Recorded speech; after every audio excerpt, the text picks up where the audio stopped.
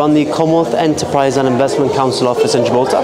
So in a nutshell, we are the business arm of the Commonwealth. We try to boost business between Commonwealth countries and we have uh, been attracted to Morocco because of its drive in terms of the international sphere, the investment, sustainable development that you've had.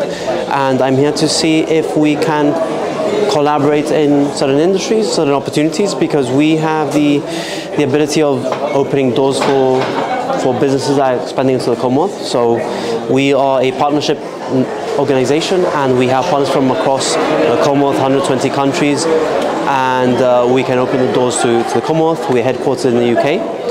And Morocco is one of those developing countries that have uh, developed at rapid pace.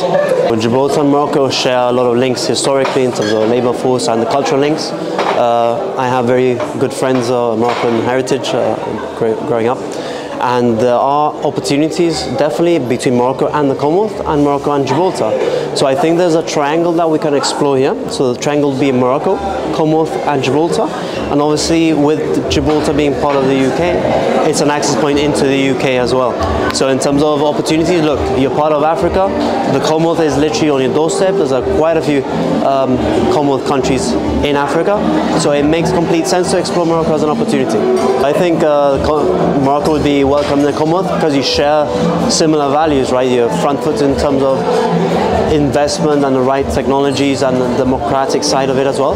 So I think Morocco would be a good asset to to the Commonwealth. There's a lot that you can add, and obviously being part of um, Africa, having the Tanja uh, Free Trade Zone, Tanja Med, all these opportunities you can link up. So um, in Nigeria you have the Tanja, um, the Lagos Free Trade Zone. So there's already those elements. It just needs a connection. I think Morocco can be that element that we can add on.